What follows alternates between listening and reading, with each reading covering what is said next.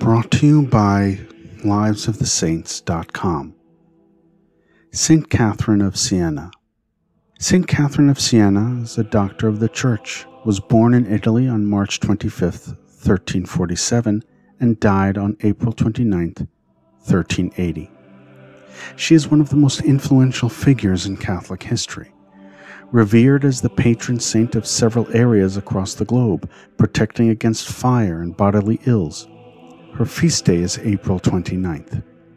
St. Catherine was a lay member of the Dominican order. She was an author, activist, and mystic who had many visions and conversations with God.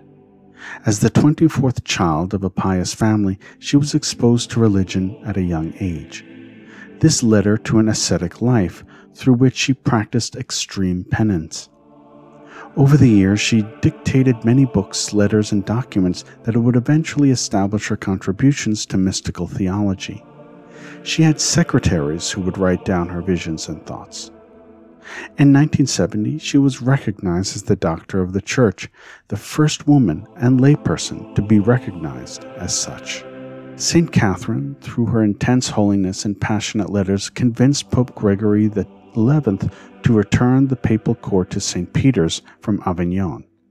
After 67 years, the Catholic seat was finally back in Rome.